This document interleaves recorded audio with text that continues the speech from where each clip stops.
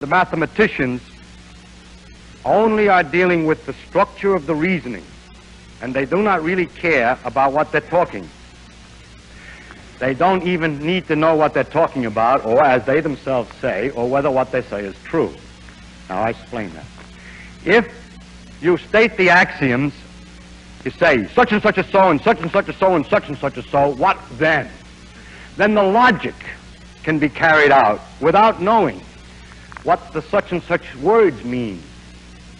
In other words, mathematicians prepare abstract reasoning that's ready to be used if you will only have a set of axioms about the real world. But the physicist has meaning to all the phrases.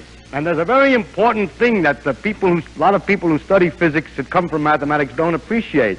The physics is not mathematics, and mathematics is not physics. One helps the other. But you have to have some understanding of the connection of the words with the real world. And this is a problem which is not a problem of mathematics at all. Mathematicians also like to make their reasoning as general as possible. If you say, I have a three-dimensional space, uh, ordinary space, I want to talk about ordinary space. You know, you're in it, and you measure distances, and there are three numbers you need to tell where something is. You go breadth, width, and height, three-dimensional space, and you begin to ask them about theorems. Then they say, now look, if you had a space of n dimensions, then here are the theorems. Well, I say, yeah, but I only want the case three. Well, substitute n equals three. And then it turns out,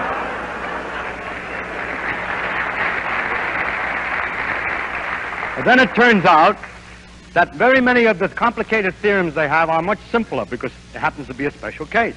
Now, the physicist is always interested in a special case. He's never interested in the general case. He does, he's talking about something.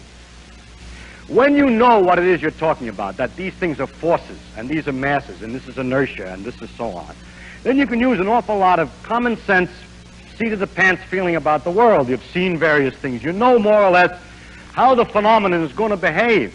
Well, the poor mathematician, he translates it into equations, and the symbols don't mean anything to him, and he has no guide but precise mathematical rigor and care in the argument. The, ma the mathematical rigor of great precision is not very useful in the physics, nor is the modern attitude in mathematics to look at axioms.